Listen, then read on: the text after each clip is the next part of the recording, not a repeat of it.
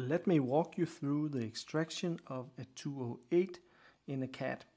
I use a size 15C scalpel because it's a little bit smaller than a size 15 so it's easier to get in those tiny diastemas like you see here between the teeth and you want to make stabbing incisions so don't push and pull the scalpel because that way you will slide and slit and uh, cut something you're not supposed to but make small stabs and then move the scalpel one millimeter at a time and make a new stab and one millimeter and a new stab and you want to keep around a 15 degree angle towards the tooth so you can really get down and cut that junctional epithelium and make way for your luxator.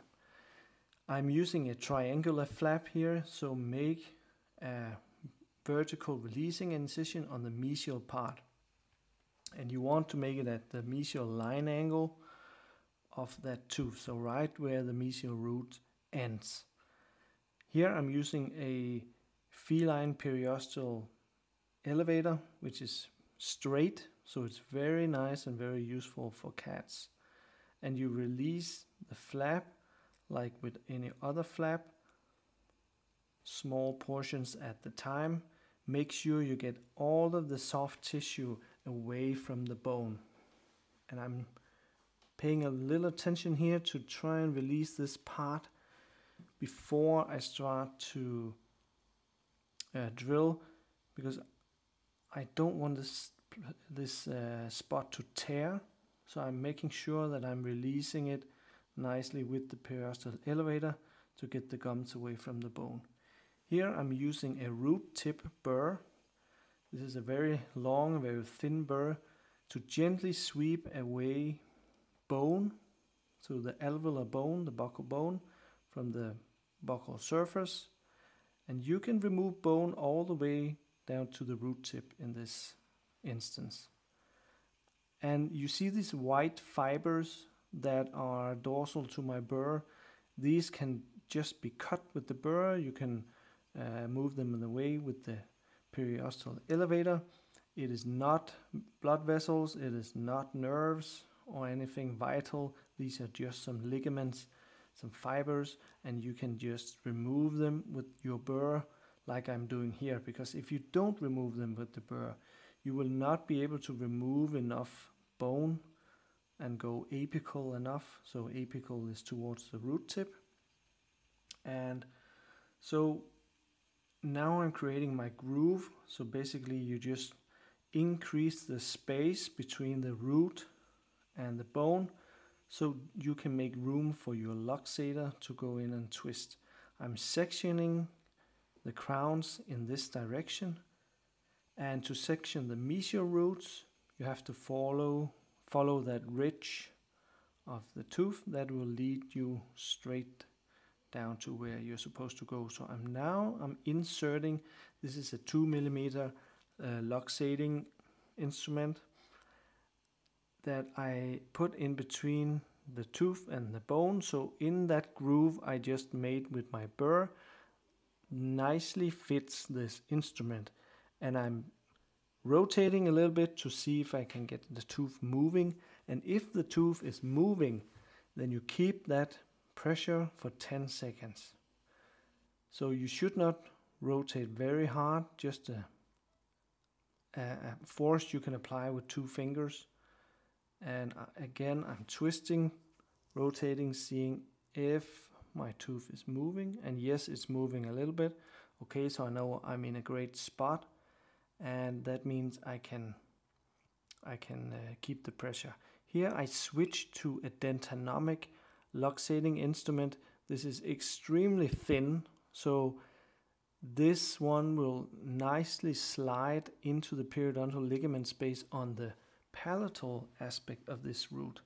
And this is often the final touch I need to make it completely loose is to slide a very thin instrument in even a very thin luxator that you sharpened nicely or one of those new dentanomic luxators. And then you remove the distal root first. You want to check that the apex is nice and round. Here I'm using an elevator to again get in that space that I created with my burr to twist, hold the pressure for some seconds. I also move in between the two mesial roots and a little bit in the front here and you can get it out pretty easily. So rotate and a gentle push. Check the root tip, see if it's nice and round. So in order to get the palatal root out, you have to remove a little bit more bone on the buccal aspect. I'm using my root tip burr to gently drill away and you cannot go as deep as you could on the buccal aspect. You have to be a little bit careful not to go too deep. So instead I'm creating more like a funnel, like a cone shape. So I'm removing more bone here on top so I can visualize the root, go a little bit deeper and then I start to create my grooves and the reason you don't want to go very deep is because the right dorsal to this is the infraorbital canal. So you may encounter the artery if you uh, go too deep.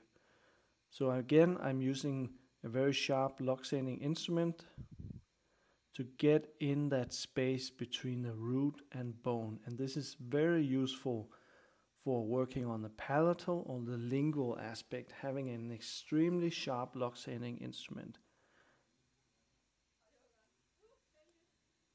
So I'm just getting that in between the bone and the root.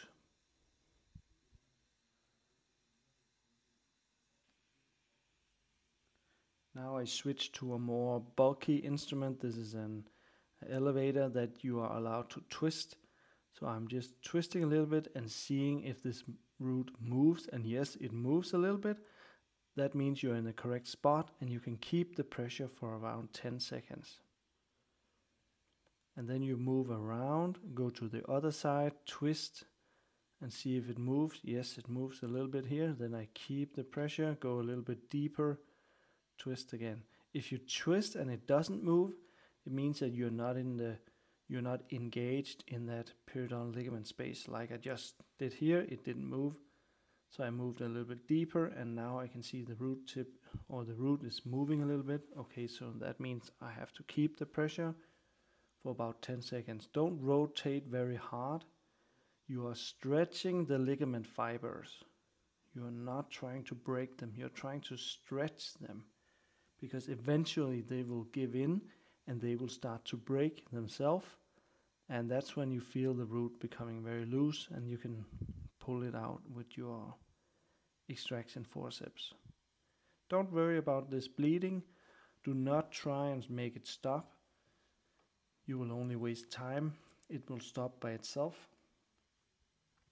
As long as it's not pulsating bleeding, then you're good. If you experience pulsating bleeding here, then you stop the extraction you pack it with some gel foam, Spongostan, something like that, and you keep the pressure for a few minutes and it should stop again.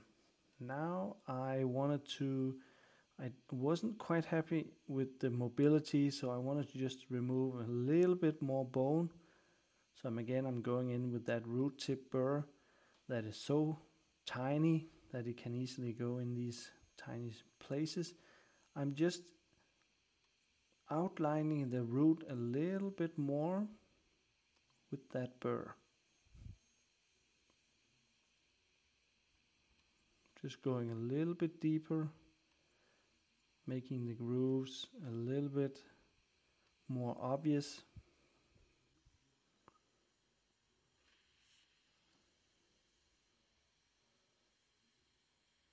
Again, going in and keeping that finger light pressure. So you're only allowed to use the amount of pressure that you can apply with two fingers.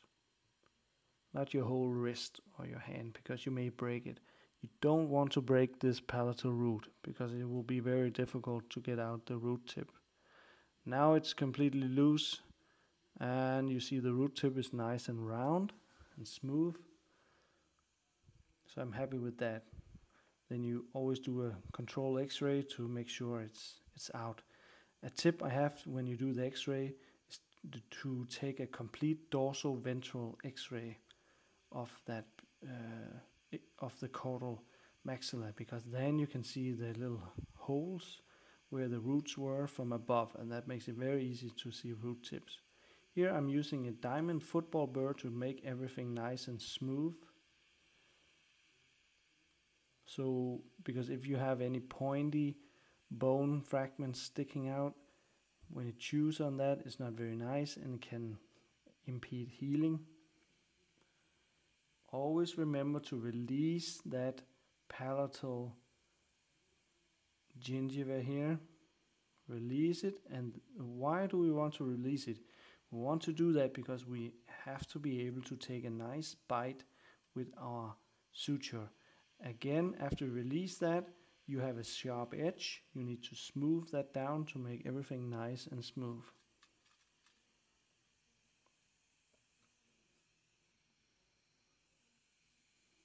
Now we want to release tension. And the way you do that is you pull the flap up to stretch it and then you insert your scissors right at this spot to separate the inner periosteum from the mucosa. And you see, you can see the, the layers are quite obvious here. So I'm grabbing with my forceps on the inside of the flap, trying to avoid and grabbing on the edge of the flap because that will damage your flap.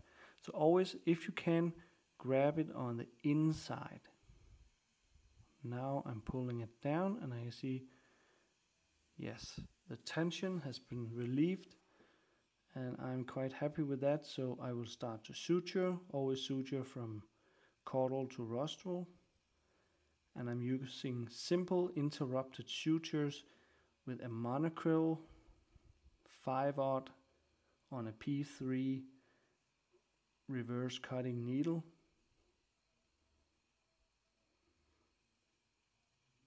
And I'm using a surgeon's knot with three extra throws on top. And because we released that palatal gingiva here, we can take a nice bite with our suture. We need about 3 millimeters in between each suture and at least a 3 millimeter bite on each side.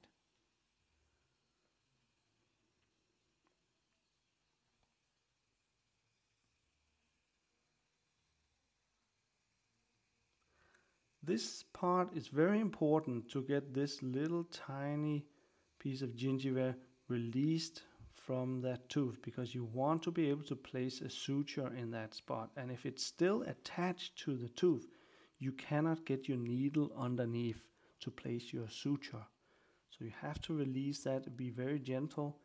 I really love that straight feline periosteal elevator. The one I recommend is from IM3 and it's, it's really excellent for this. So what I want to do is the I'm not trying to oppose the edges as they were before I extracted the tooth. So the edge you see on that gingiva, I want to place that where the palatal root were. And you will see that just in a little bit where, where I make the next suture. And you can see exactly where I lay that flap.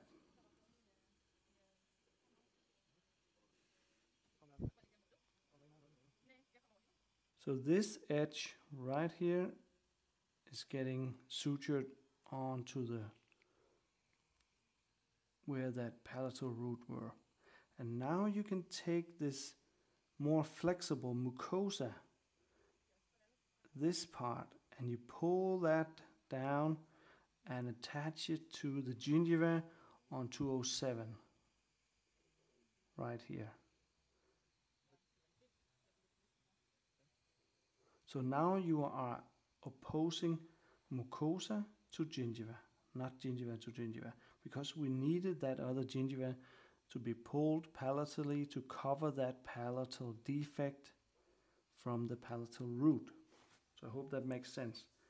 So in order to close the gap, you use the mucosa that you can pull down and suture to the gingiva. Again, just make a last last suture here.